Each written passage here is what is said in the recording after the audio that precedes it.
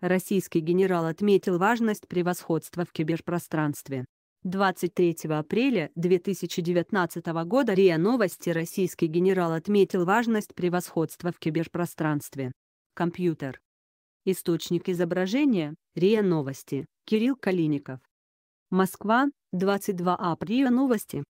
Современные войны приобретают высокотехнологичный характер. Превосходство в киберпространстве становится решающим условием победы наряду с военной мощью, говорится во вступительном слове начальника Национального центра управления обороной России, НЦО, генерал-полковника Михаила Мизинцева на открытии второго этапа научно-практической конференции, посвященной итогам первых пяти лет деятельности НЦО РФ.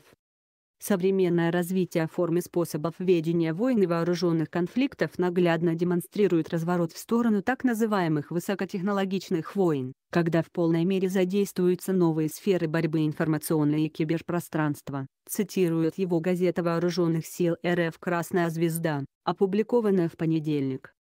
Мизинцев отметил, что в сложившихся условиях эффективность применения войск напрямую зависит от возможностей системы управления, развитие которой является приоритетным направлением строительства вооруженных сил. При этом генерал подчеркнул, что многолетние усилия российской военной науки по сопряжению информационных систем и автоматизированных систем управления в едином информационном пространстве не привели к требуемому результату.